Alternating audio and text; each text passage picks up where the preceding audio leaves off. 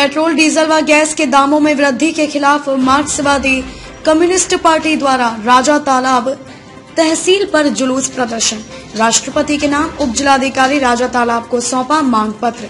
वाराणसी ज़िले के रोहनिया थाना अंतर्गत राजा तालाब तहसील पर सोमवार को दोपहर में भारत की कम्युनिस्ट पार्टी मार्क्सवादी तहसील कमेटी राजा तालाब के मंत्री कामरेड लालमणि वर्मा के नेतृत्व में सरकार द्वारा डीजल पेट्रोल के साथ साथ रसोई गैस के दामों में भारी वृद्धि व महँगाई के खिलाफ राजा तालाब बाज़ार से नारेबाजी करते हुए जुलूस के साथ पैदल मार्च निकालकर राजा तालाब तहसील पर पहुंचकर उप जिलाधिकारी के कार्यकाल के सामने सभा की गई। सभा के अंत में महँगाई की मांग पत्र को राष्ट्रपति महोदय के नाम उप जिलाधिकारी राजा तालाब मणिकंडन ए को ज्ञापन सौंपा।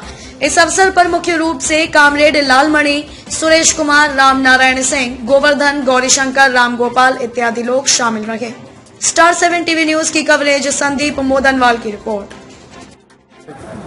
मैं राजा तलाव तहसील कमेटी के मंत्री हूँ, लालमणि वर्मा मार्क्सवादी कम्युनिस्ट पार्टी का।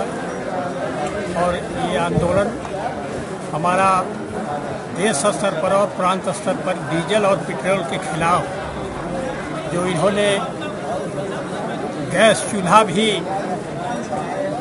महँगा कर दिया, जो कि रसोई घर में आग लगेगा कि नहीं लगेगा, रोटी बनेगा कि नहीं बनेगा मतलब इतना बेतहासा महँगा हो गया और पेट्रोल, डीजल कांग्रेस के ज़माने में भी इतना नहीं रहा, लेकिन कांग्रेस ज़माने में भी उन्होंने थोड़ा सा गौर नहीं किया है कि इसका हम विकास की तरफ़ ले जाए, वो भी लूज बन करके पड़ा रहा और इन्होंने तो एकदम से सब अडानी अंबानी के हाथों में ये तेल के हाथ में सौदा कर दिए।